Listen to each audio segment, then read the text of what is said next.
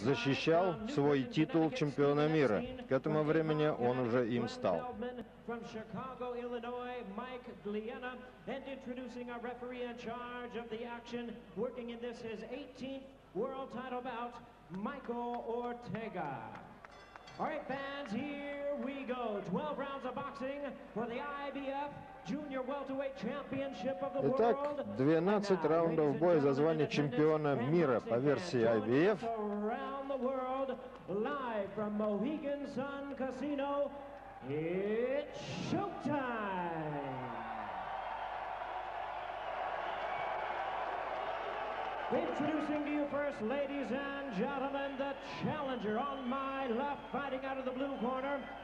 wearing a black trunks and joining us from St. Louis, Missouri. He weighed in at a ready 139 and one half pounds. With a record of 22 wins, one loss, and one draw, he has 17 wins coming by way of knockout. Ladies and gentlemen, 22 here is победы. the number one contender and the former IBF junior welterweight Бывший champion чемпион of the мира. world, Introducing uh, Tehran, Tramp Millet. Рон Милет встречен нелюбезно. And his opponent across the ring on my right, the defending champion fighting out of the red corner, wearing silver trunks with black trim, fighting out of his home, Brooklyn, New York. He weighed in at a trim and ready 138 pounds. He is undefeated in his campaign to the ring with 23 wins, no losses, one no contest, and 17 wins coming by way of knockout. Here is 23 the победы, IBF Junior 17 Welterweight нокаутом, ни одного поражения у Забат Джуды. Zed Super Judah.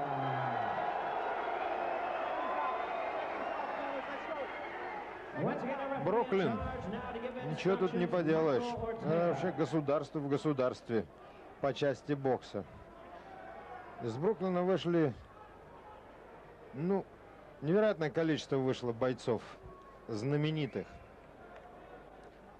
Начиная с 20-х годов и кончая вот наше время. Тайсон из Бруклина, кстати сказать. И Майкл Грант из Бруклина. И в Бруклине, кстати, жили и наши бойцы. Сережа Кобузев. Да и, по-моему, сейчас там живет Олег Москаев. В общем, боксерский район Нью-Йорка.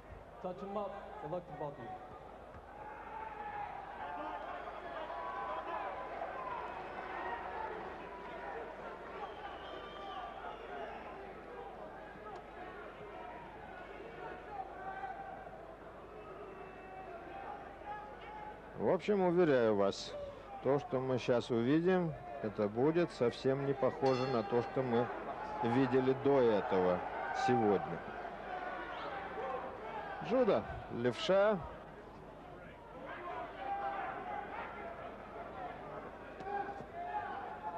Быстрый, легкий, невероятно острый в своих действиях. И Перрон Милет. Панчер с тяжелым ударом, очень неприятным.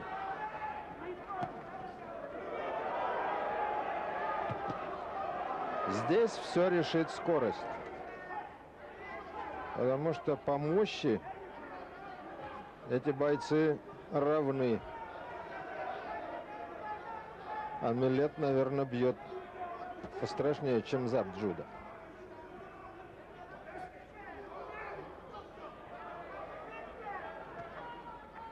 Но Джуда это, конечно, боксер, э, который относится вот к разряду таких талантов типа Роя Джонса, Шугара Рэй Леонардо. Боец такой интуитивный, где предвосхищение, предчувствие играет колоссальную роль. Плюс, конечно, невероятно оснащенность техническая. Он, а, когда перестал быть новичком на профессиональном ринге, очень быстро отделался от всякой шелухи. Хотя и сейчас иногда может выбросить, выкинуть несколько трюков, которые совершенно, которых нет необходимости. А, Сделать нечто на грани риска. Вот эта вот сумасшедшая бравада сделала его ужасно популярным. А, там, у себя. Видишь, что вытворяет. За что и получает.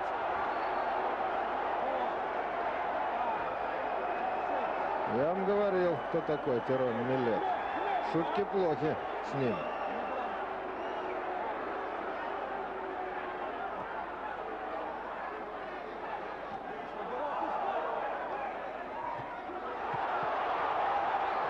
Джуда.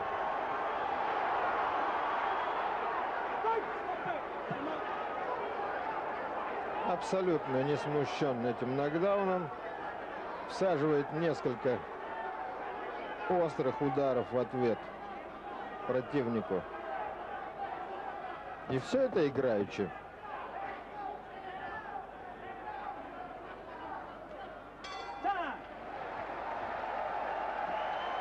Вот это раунд, представляете? Начало чемпионского боя. Это другой уровень. Да что я вам говорю, вы и сами все видите. You. Quit waiting. You know you got the pressure, the man. You you like a sitting target. You ain't moving nothing. You just sitting there waiting. Shoot. Got right back up and took it right back. But yo, he wants you in the punch out. When you still on the outside,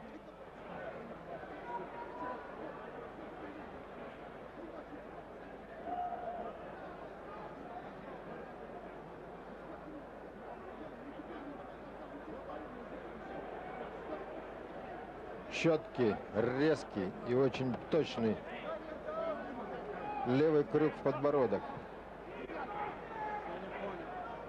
Все, казалось, шло под диктовку Забы Джуда. Забыл он, с кем имеет дело.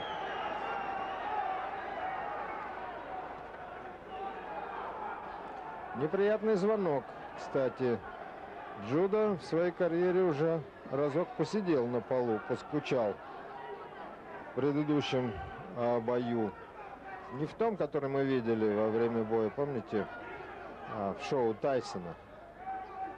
Когда Джуда вынужден был попотеть, гоняясь за своим британским противником. Эта бесшабашность может дорого стоить ему.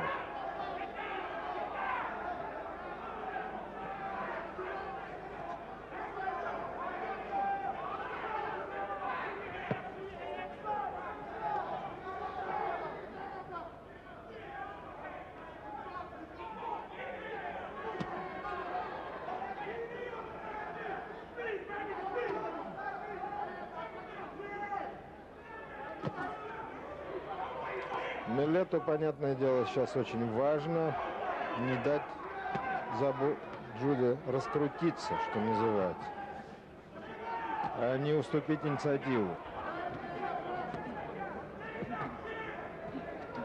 Сделать это очень сложно, потому что Джуда э, здесь рядом и ускользает постоянно, тревожит Милета и может в любой момент выстрелить, жестко ударить. Поэтому здесь очень важно быть самому инициативным, в то же время не зевать.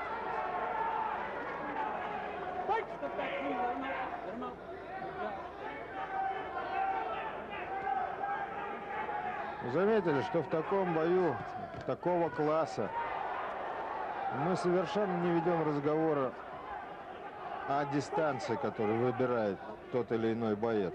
Потому что здесь это уже не важно. Они прекрасно действуют, как видите, на любой дистанции.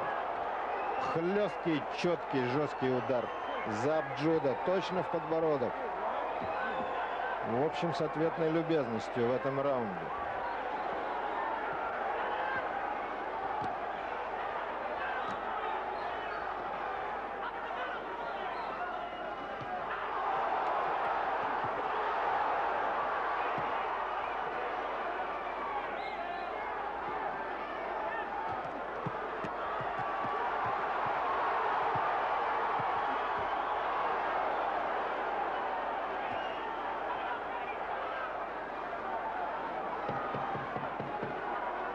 Ничего еще не решено.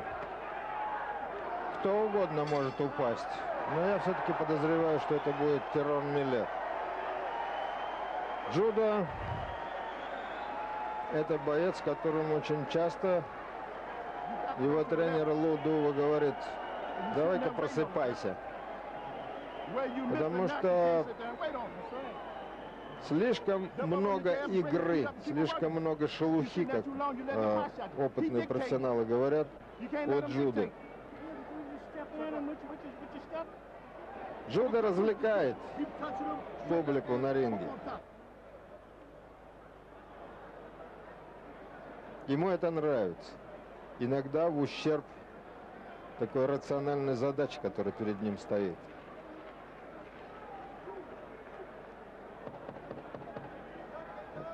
А в общем-то, если так разобраться, может быть, этому есть более четкое в русском языке определение. Слишком самоуверен.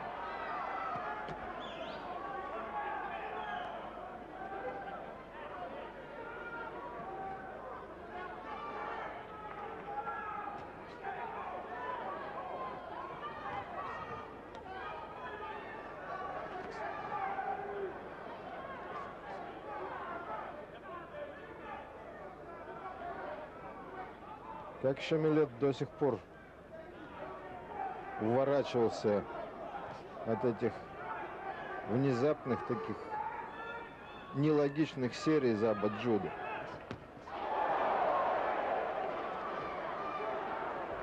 Конечно, самый главный козырь Заба Джуда – его поразительная физическая одаренность, координированность, помимо скорости. Ведь все, что он делает, вы посмотрите, он делает играючи. Он не напрягается. Настолько это легко для него. Это поставить нельзя. Можно научить технике, можно образовать бойца и сделать его хорошим тактиком. Но вот такому исполнительскому мастерству научить нельзя. Это природа. И тут уж ничего не поделаешь.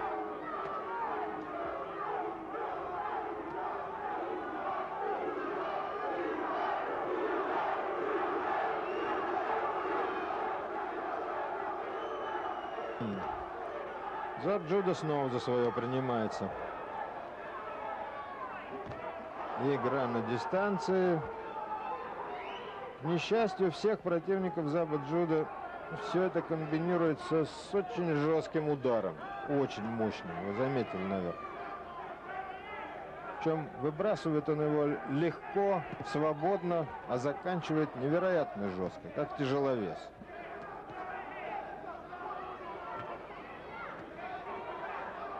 Видите, вот что хочется делать в ринге Джуд.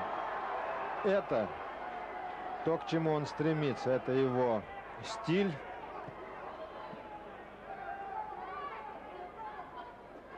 Это игра на грани риска. И чем больше риска, тем больше Джуди это нравится.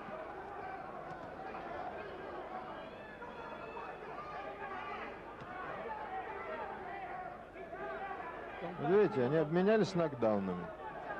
Джуди уже неинтересно. Он понимает, что он может бой закончить. Несмотря на то, что Милет, в общем, противник опасный.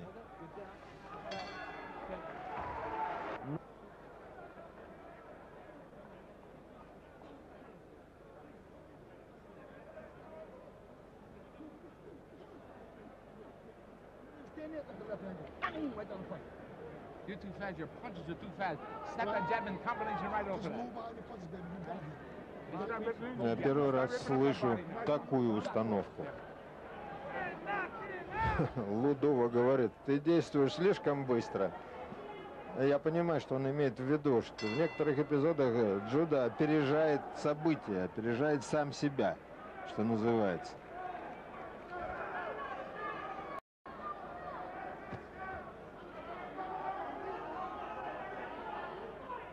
Конечно, зап Джуда для Кости Дзю будет очень неприятным и очень серьезным противником.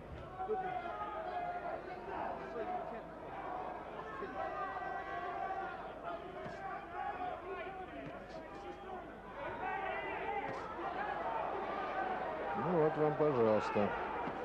Заигрался опять.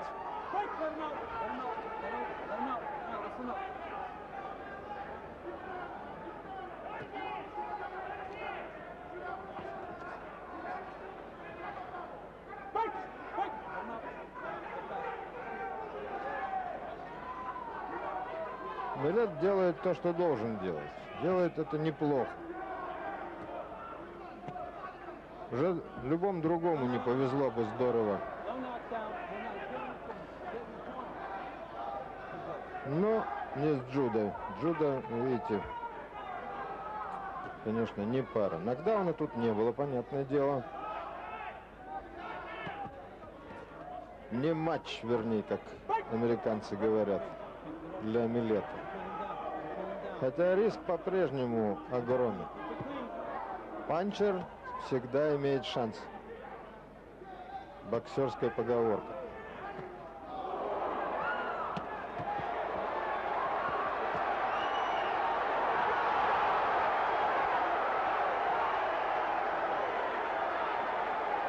Еще одно попадание.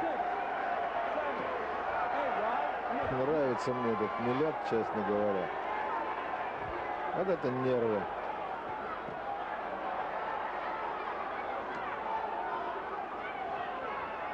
Джуда действует размашисто, хлестко. И Милет пытается это использовать сейчас.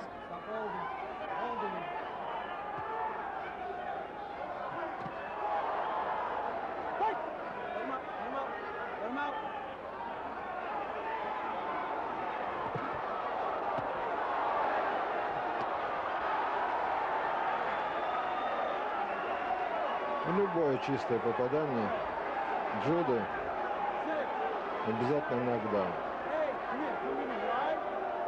Да, тяжело. Многовато. Многовато ударов.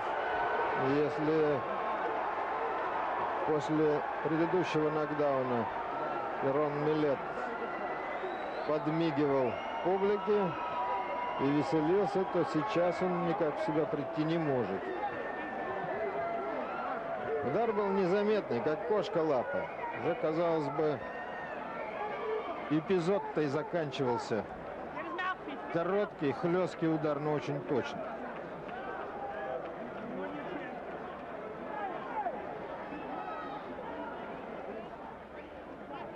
И вот эта суета вокруг Милета сейчас менеджеров и докторов говорит сама за себя. Сейчас очень важно проверить его реакции сразу же после этого поражения. Исследовать глазное дно, ну и прочие манипуляции, чтобы быть уверенным, что ничего плохого через полчаса с Милетом не произойдет, что он где-то не упадет в раздевалке. В общем, на ринге случались большие неприятности, как вы знаете, и смертельные случаи также в их числе. Поэтому сейчас те, кто заняты профессиональным боксом, здорово напуганы и пытаются подстраховаться. Дело в том, что практически это невозможно сделать, подстраховаться, потому что можно хорошенько так сказать, проверить бойца перед боем. Но никто не знает, сколько раз он падал во время тренировок, а также его окружение это сделать. Мы увидим.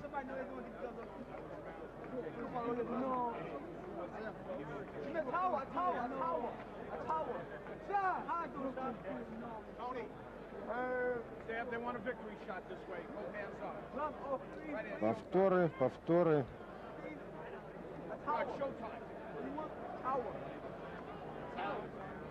Ну, этот, эта комбинация, этот град ударов, даже трудно назвать это серией. Смотрите, На повторе это видно, с какой скоростью, с какой мощью вкладывается зад Джуда в каждый удар. Не мудрено, что даже короткий, четкий удар уже на излете заканчивает бой.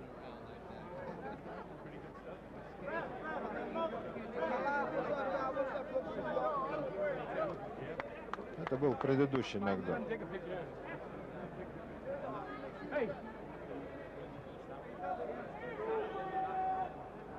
Нет, последний.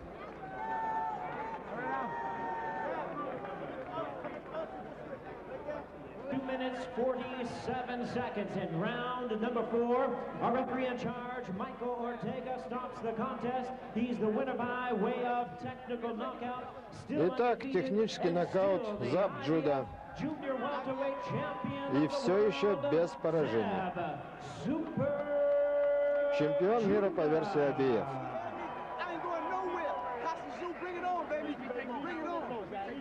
Давайте мне Костю Дзю.